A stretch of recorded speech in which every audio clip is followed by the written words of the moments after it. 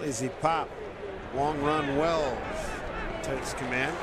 Here's a throw to the plate. Got a chance. He got it!